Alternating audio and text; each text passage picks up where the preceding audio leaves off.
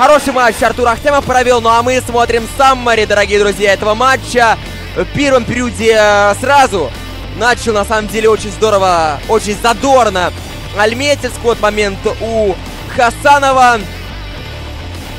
Силовой прием Гиматова и контратака, э, которая привела к голу. Выход, по сути, 1 на 1. Там еще прям по курсу открывался второй игрок, но Кореневский решил бросить. И не прогадал. 1-0. Затем, э, в общем-то, в первом периоде больше событий не было. И не такой событийный был первый период, откровенно говоря, по сравнению со вторым и с третьим периодом.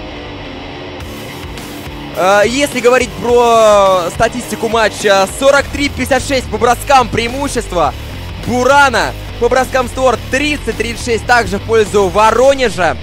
Э, ну и на одно удаление больше получил нефтяник сегодня. По бросаниям 25-32 в пользу Бурана. Казалось бы, да, вот э, преимущество по броскам по моментам есть у Бурана, а по счету по самому главному компоненту лидерства Альметьевска. Пожалуй, это говорит о классе команды Эдуарда Дмитриева.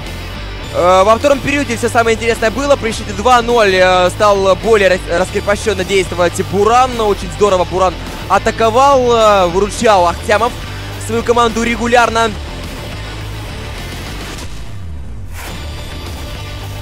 Вот гол Ислама Хасанова низом. Э, кистевой классный бросок, э, который застал врасплох э, Владислава Гросса.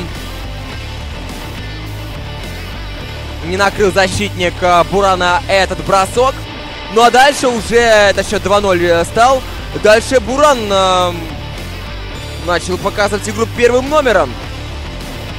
Воронеж сумел добавить в скорости продвижения шайбы, э, в скорости атак. И, в общем-то, заброшенная шайба в концовке второго периода это, на мой взгляд, абсолютно закономерное стечение обстоятельств. Вот в дальний угол выцеливал здесь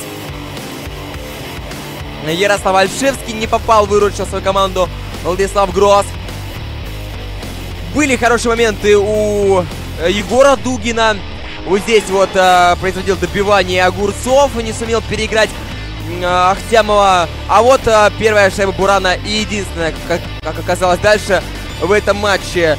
Не получился щелчок у Тимирова, зато получилась передача на Дмитрия Возовика. И Возовик э, отличился заброшенной шайбой. 2-1. Но на старте третьего периода вот э, такое прекраснейшее подправление лидера атаки нефтяника Ярослава Альшевского получилось. Э, Альшевского оставили совершенно одного, создал он трафик и спокойно подправил после щелчка синей линии. 3-1, и, в общем-то, дальше игра была равная. Э, Буран в концовке э, пытался одну шайбу отыграть. Невынужденное случилось удаление у Бурана. В общем, даже снятие вратаря и выпуск шестого пулевого не помог Бурану хотя бы одну шайбу еще отыграть. Постепенно завершаем прямую трансляцию из Республики Татарстан, из города Альметьевска. Благодарю коллег за проделанную работу. Классный матч мы с вами посмотрели, который для вас прокомментировал Вадим Азаренко. Всем большое спасибо, всем хорошего вечера. Еще раз коллегам большое спасибо за работу. До свидания, всего доброго. Пусть у вас все будет хорошо. Пока-пока.